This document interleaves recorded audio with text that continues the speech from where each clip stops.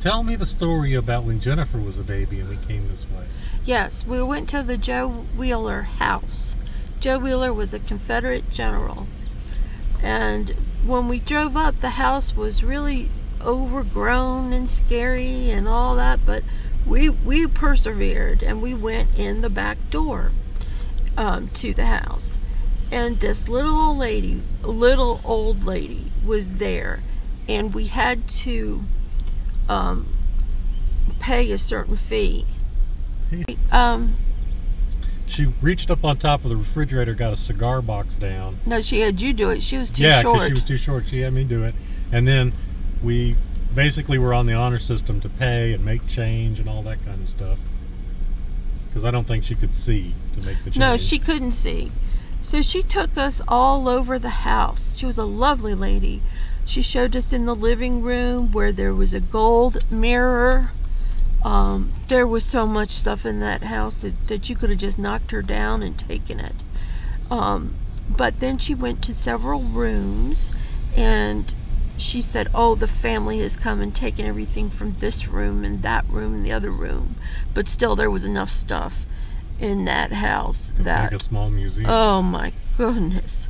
So, Miss Annie was Annie was the last of Joe Wheeler's uh, children, and she took us up to one of the rooms, and she let Jennifer play with those old toys from the 1860s China dolls and hand carved wooden stuff. And and she opened a wardrobe that had beautiful gowns in it And Wheeler's uniform. Yeah, it was craziness. So then we go to another room, and there is newspaper all over the light fixture.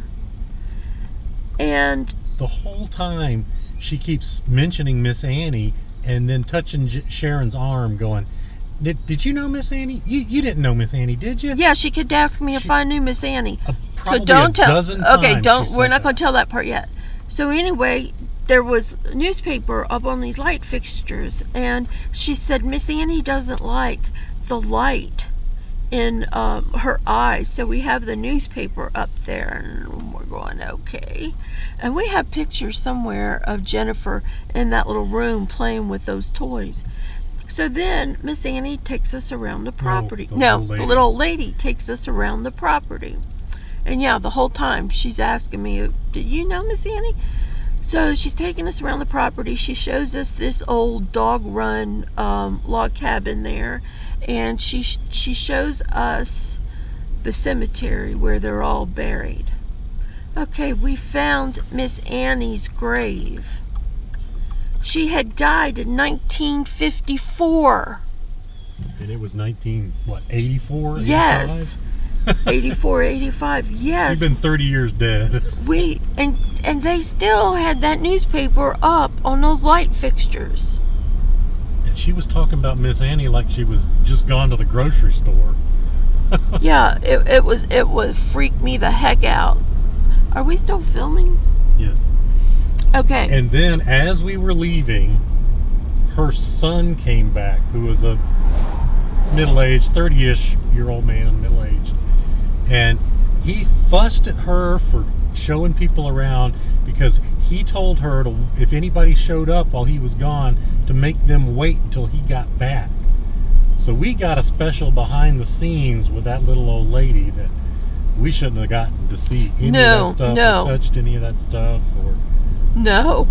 That was a once in a lifetime thing and now they've got it all commercialized and you know the state or whoever's running it and there'd be no way in heck you'd be allowed to go in those Yeah, rooms. all the rooms are roped off now, and Yeah. You know, but it would, like I said, it's one in a lifetime deal. One time we were in New York City seeing, uh, visiting my aunt who was a model in New York. She was my dad's twin. And we went to the. surprisingly, your dad not a model. no, my dad was a model.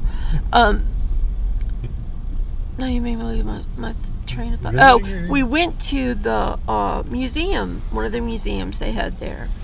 And we, my mom and I, were big Queen Elizabeth the first fans.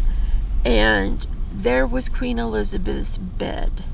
And it had one of those things, they have them at Williamsburg too, where it's like a little sensor, and if you're, um, if, if you have movement over that sensor, then the alarm goes off. My mom couldn't stand it. She just couldn't stand it. She reached over and just touched the foot of Queen Elizabeth the First bed. Yeah, she got yelled at, but um, she touched it. Yes, she did. All right, we're just about back to where we started from. I hope you enjoyed this story. And the drive through the day use area at Joe Wheeler State Park. Yep, yep. And I bet if we went to the Joe Wheeler house, we would never. Oh, that yeah, like you say, that that's a once in a lifetime shot.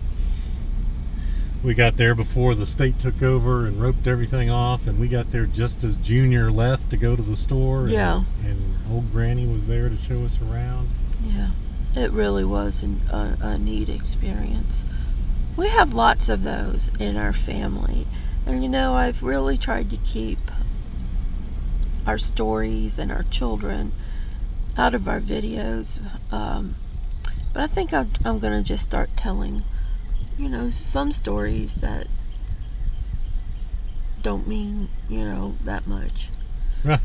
I mean, I, I want to respect the privacy of my family, is all I'm saying. Yeah, So- but that Jennifer was three, so there's no privacy when you're three. Yeah, yeah. I have all kinds of great stories about my family of origin. Oh lordy. Oh, Lordy, you just don't even know. All right. But out of respect, We're almost back to the trailers. Bye for now. story time is over.